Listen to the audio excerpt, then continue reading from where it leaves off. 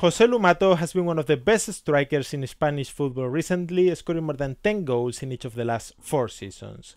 His signing for Real Madrid is one of the most underrated in the first days of the transfer window. As we will see later, he's a very complete player and can bring a different style, coming off the bench in games where Madrid failed to open the scoring.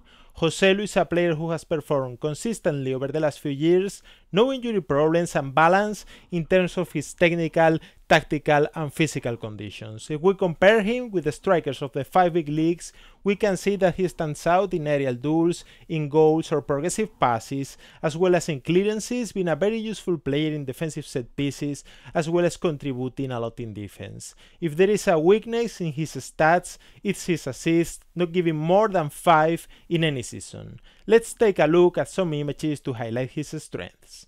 Joselu is an agile and dynamic footballer despite his height, which allows him to play with his back to goal and link up. From outside the box, he has a great long range shot, being able to finish with both legs.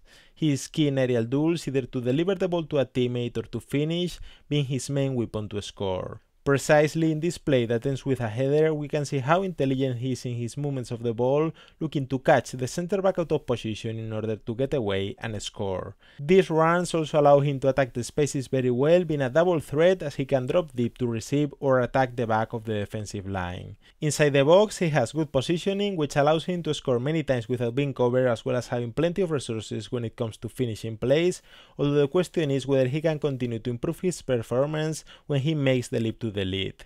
Joselu is also a good free kick taker thanks to the long distance shot we mentioned earlier, and although he's usually one of the penalty takers in his teams, he doesn't have spectacular figures being average. In addition to the clearances we mentioned out of possession, it's worth noting that he's an intelligent presser, cutting the passing lanes. I'm sure that Joselu will bring a good number of goals to Real Madrid to fight for the next La Liga, the doubt lies in the level he can bring in the most important games, such as the Champions League.